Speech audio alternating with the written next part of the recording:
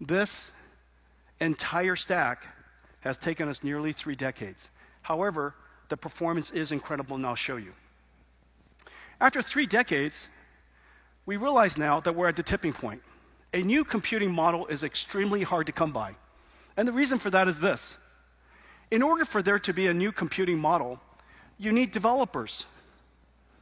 But a developer would only come if they're end developers have to create applications that end users would buy.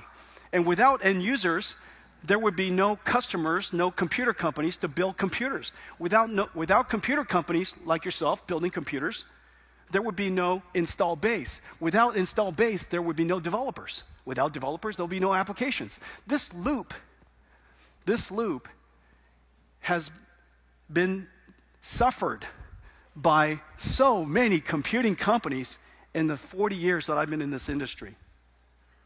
This is really one of the first major times in history a new computing model has been developed and created. We now have 4 million developers, 3,000 plus applications, 40 million CUDA downloads in history, 25 million just last year. 40 million downloaded in history, 25 million just last year. 15,000 startup companies in the world built on NVIDIA today, building on NVIDIA today, and 40,000 large companies, enterprises around the world are using accelerated computing. We have now reached the tipping point of a new computing era. This new computing model is now enjoyed and embraced by just about every computer company and every cloud company in the world. There's a reason for that. It turns out that every single computing approach its benefit in the final analysis is lower cost. The PC revolution that started and that Taiwan enjoyed in 1984, starting in 1984, the year I graduated, that decade in the 80s was the PC revolution. PC brought computing to a price point nobody's ever seen before. And then, of course, mobile devices was convenient and it also saved enormous amounts of money aggregated and combined the camera, the music player, your PC, a phone, so many different devices were all integrated into one. And as a result, not only are you able to enjoy your life better, it also saves a lot of money and great convenience. Every single generation provided something new and saved money. Well, this is how accelerated computing works. This is accelerated computing used for large language models. For large language models, basically the core of generative AI. This, is a 10, this example is a $10 million server, and we costed everything. We costed the processor, we costed all the chips, we costed all the network, we costed literally everything. And so $10 million gets you nearly 1,000 CPU servers, and to train, to process this large language model takes 11 gigawatt hours, 11 gigawatt hours. Okay, and this is what happens when you accelerate this workload with accelerated computing. And so, with $10 million for a $10 million server, you buy 48 GPU servers. It's the reason why people say that GPU servers are so expensive. Remember, people say GPU servers are so expensive. However, the GPU server is no longer the computer. The computer is the data center. Your goal is to build the most cost effective data center, not build the most cost effective server. Back in the old days when the computer was the server, that would be a reasonable thing to do. But today, the computer is the data center. And so, what you want to do is you want to create the most effective data center with the best TCO. So, for $10 million, you buy 48 GPU servers it only consumes 3.2 gigawatt hours and 44 times the performance. Let me just show it to you one more time. This is before, and this is after, and this is.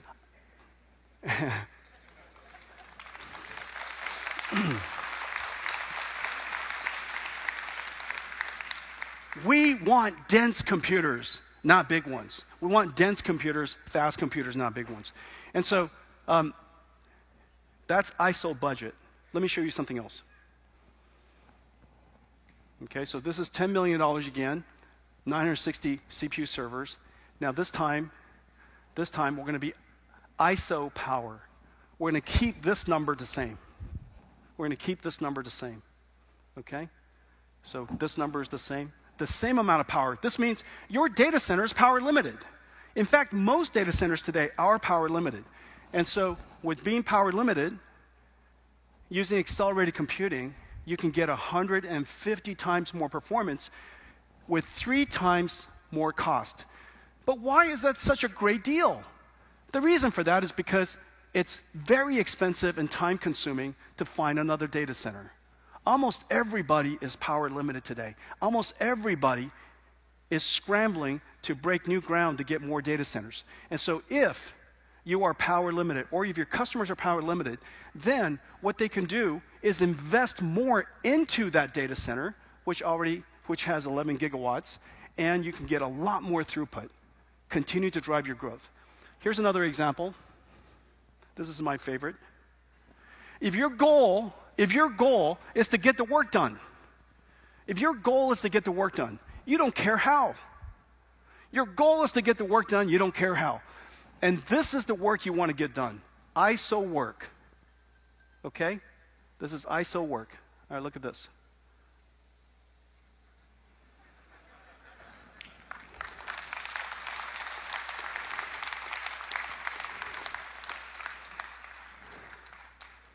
Oh, 先做嘴急。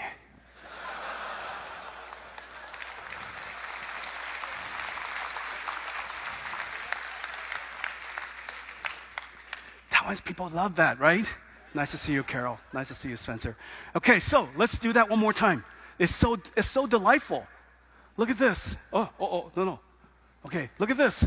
Look at this. Before, after. The more you buy, the more you save. That's right. The more you buy, the more you save. The more you buy, the more you save.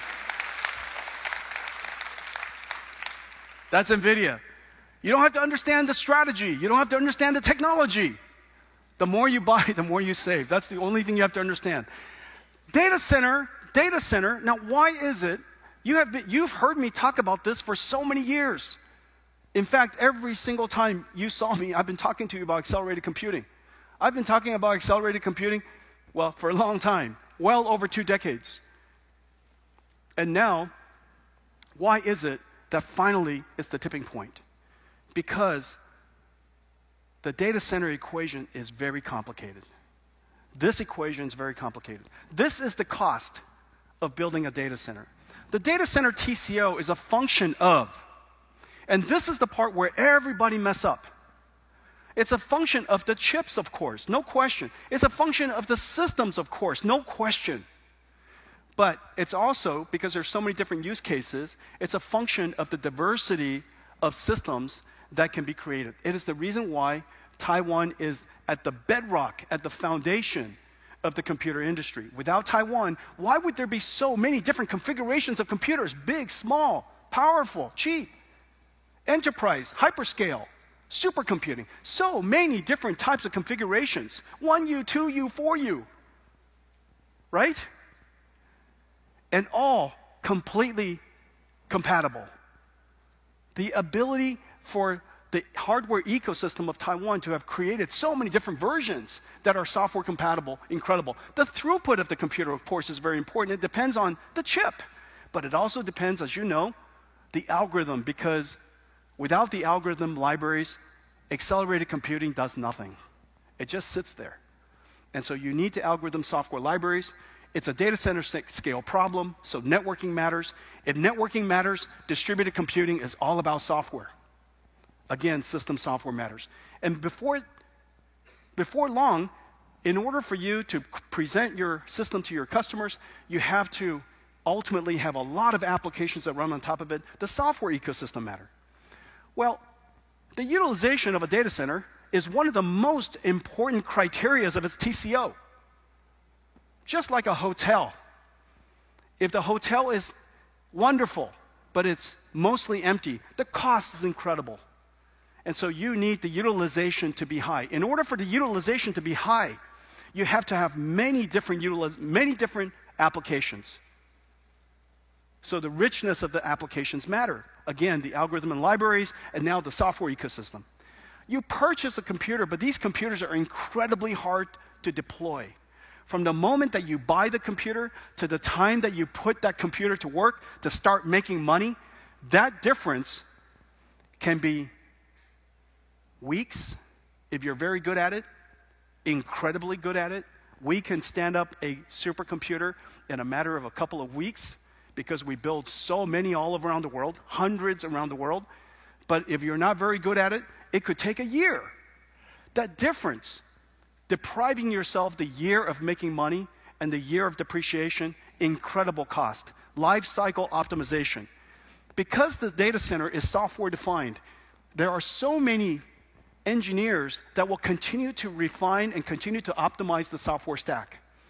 Because NVIDIA's software stack is architecturally compatible across all of our generations, across all of our GPUs, every time we optimize something, it benefits everybody. Every time we optimize something, it benefits everybody. So life cycle optimization, and of course, finally, the energy uh, that you use, power. But this equation is incredibly complicated.